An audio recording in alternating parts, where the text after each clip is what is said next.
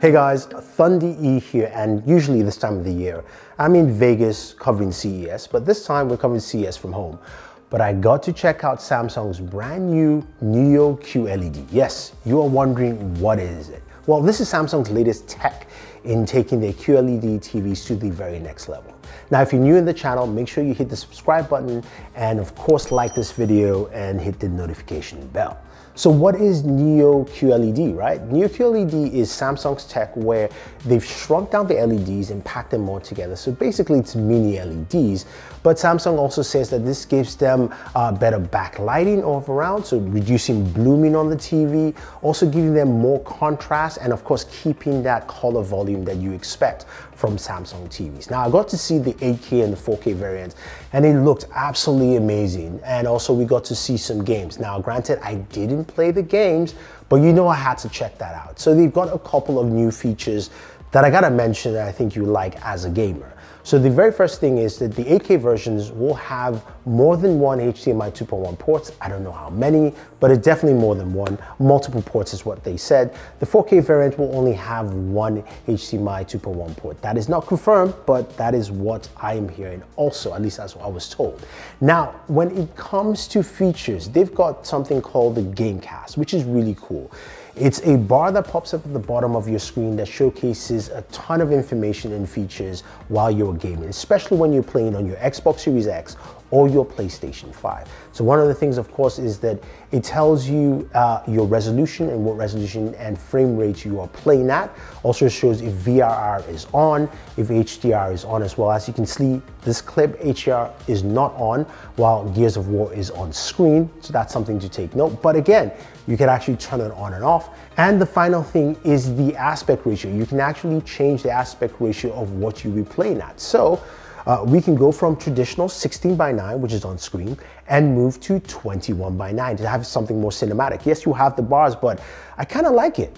And then you can also move to something much bigger, like 32 by 9 to have really super wide aspect ratio uh, for, of course, your gaming experience. And I think this is really cool. Now, some people may not like it. You can move the, move the framing up or down wherever you want to, but I definitely want to play some Cyberpunk 2077 at at least 21 by 9 aspect ratio. I know some of you might not like the game, but I've been enjoying it on my Xbox Series X. Now, uh, the other feature that I do like, and they've added, and they've added a ton of features on this TV, besides all just the tech behind the TV, is uh, the addition, of course, of boosting up Samsung SmartThings. Now, SmartThings does a lot more with talking uh, with all your Samsung devices at home, which is really great. But there's also the Samsung Smart Trainer. So the, the training software allows you to select different trainers that you can use, but you can also connect your webcam, allowing you to do the workouts with the trainer. Yes, you can jump around and do your squats or your jumping back jacks on your own, but it actually tracks and matches your workouts so that it knows you're physically doing the jumping jacks and you're physically doing the squats. Can we say Xbox Kinect here? Because literally this is what Microsoft was trying to do. But we can do it on our TVs, especially with the uh, brand new Samsung uh, Neo QLED. Now that's a pretty cool feature and there's also a bunch of other features using that webcam. You can also use Google Duo, you can use the Microsoft Suite of software, you can easily of course connect DeX to your TV, so there's a bunch of stuff you can do. Now another thing with this new TV is the brand new remote. And you're going, okay, it's a remote. Why should I care? Well, the remote has some, uh, some great sus sustainability features. Number one, it doesn't use AA batteries anymore. It's got a built-in battery. You can charge the battery via USB Type-C. Thank God for that.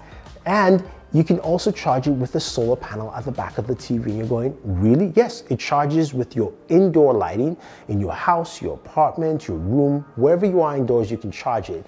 And one charge will last you a whole year. You have to charge it once and that's it. That is absolutely amazing. I love that. It saves on battery, it saves on charge time, just saves on a lot of things in general.